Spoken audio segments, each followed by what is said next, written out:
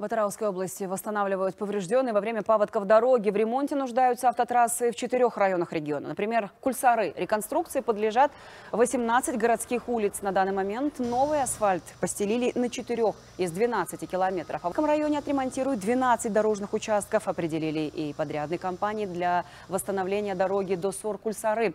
В целом до конца года в порядок приведут 114 километров республиканской автомагистрали Атырау-Актау.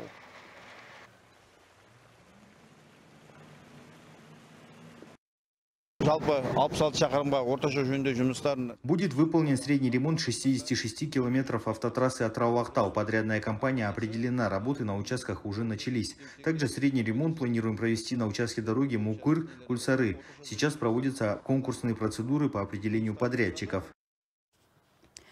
И